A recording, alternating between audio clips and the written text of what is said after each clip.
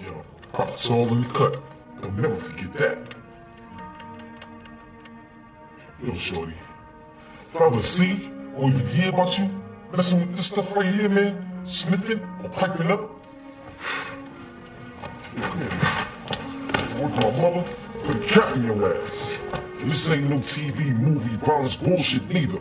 This stuff out here is real. Real bullets hurt. The real guns kills you dead. This right here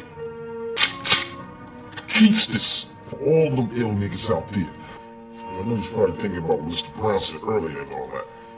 Chill. Don't even sweat that shit, man. He's old and poor. You don't know what time it is. This is how you get that money right here. Pumping this white shit right here. Any fly shit you want in this world, it costs money. And this is how you get it. Hustling. And don't never forget that shit neither.